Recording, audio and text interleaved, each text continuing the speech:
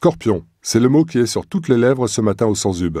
Les responsables de ce projet ont fait venir nos parlementaires pour leur montrer que ce programme est indispensable à l'armée de terre. Il permettra une efficacité et une protection accrue de nos soldats. Les engagements euh, sont de plus en plus violents.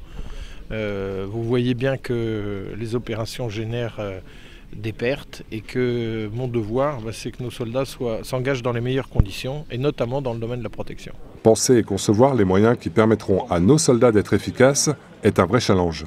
Les véhicules, les techniques optroniques sont au cœur du système. L'efficacité des, équipements que nous allons euh, préparer pour les forces, une efficacité pour euh, la plateforme multirôle, c'est-à-dire euh, à la fois le transport, le transport des hommes, le transport des, charges, mais aussi le transport des armes, puisque nous sommes aussi comment dire, en train de développer une version qui portera le mortier pour l'artillerie.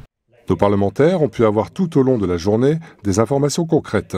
Explication du but du programme Scorpion, démonstration dynamique et stand des industriels leur ont permis de toucher du doigt la réalité de l'espace de bataille.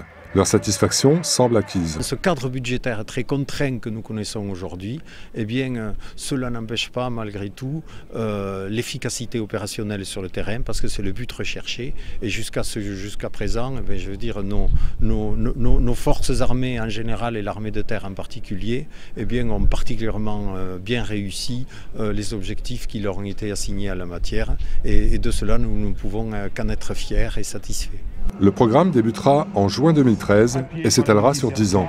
Au cours de ces années, certains véhicules seront livrés. De nombreux aspects du cahier des charges sont en cours d'élaboration. L'efficacité, la protection de nos soldats et la maîtrise des coûts en sont les principaux.